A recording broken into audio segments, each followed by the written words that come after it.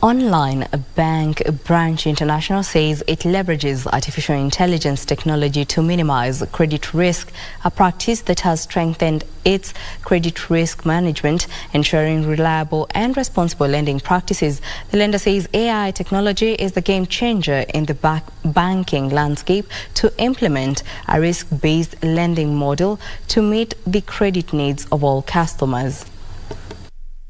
Don't have to just do up to 150,000 shillings because that was the ceiling we were providing.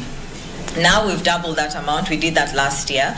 We're giving up to 300,000 Kenya shillings unsecured. And we possibly are going to increase that. And why?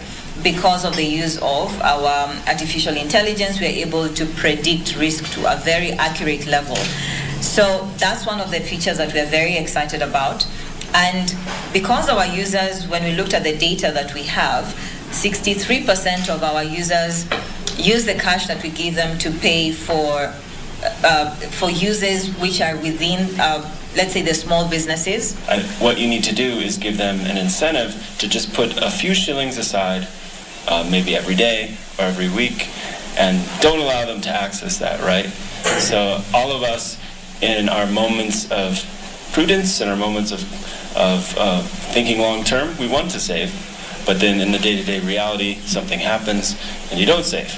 But if you can provide a feature, we call it target savings, which literally locks the shillings in a vault uh, for 90 days, 180 days, 365 days.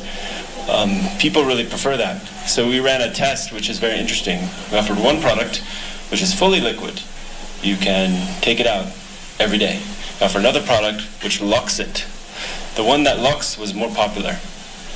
Audible? Not, yeah, Audible is.